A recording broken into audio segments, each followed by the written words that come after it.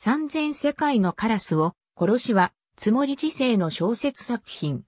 また、小説を原作にしたドラマ CD である。挿絵は、相川悟、東海と経て、現在は、朝、原エリーが担当している。新書館の小説ウィングスに連載され、ウィングス文庫より発行。2013年現在、小説は17巻まで、CD は10巻までが発売されている。連載10年を記念して、3000世界のカラスを殺しマガジンが発売された。タイトルは、高杉新作が作ったとされるドドイツが元ネタになっており、作中でも重要な意味を持つ。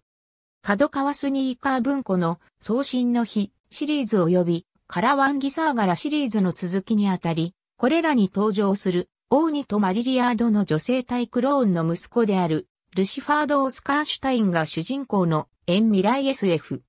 軍上層部の思惑絡みで、辺境惑星にあるカーマイン基地に左遷されてしまったルシファードは、初めての地上勤務で様々な人間との出会いを果たす。そんな中、麻薬の売人が誘拐された事件に関わったことから、バーミリオン製で繰り広げられる陰謀に巻き込まれてしまう。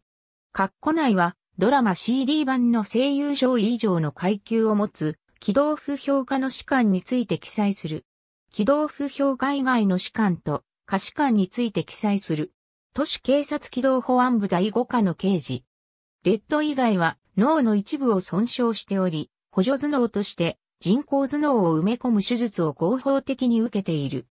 都市警察本省が何者かによる爆破を受けたことで、ウンセット部長によって病院送りにならなかったメンバーが一時カーマイン基地に身柄を保護され、その後、ルシファードの極秘プロジェクトに協力するプロジェクト分室メンバーとなる。本作には様々な人類が登場している。以下に作中に実際に登場している人種について記載する。また該当者の数が少ないものについては、キャラクター名を記載する。本編の内容を収録したドラマ CD が2002年から発売されている。2013年4月現在は10巻までの11枚となっている。初回限定生産特典として書き下ろしのプチ文庫がつく。